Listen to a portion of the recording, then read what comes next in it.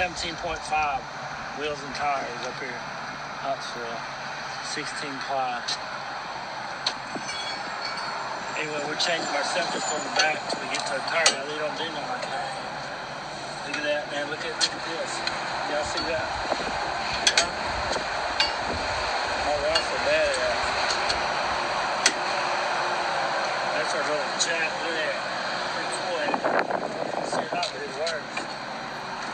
Oh, the badass. Look at that. I mean, I mean, you know to do that. That's a hand right there. Should do this and drive all night long.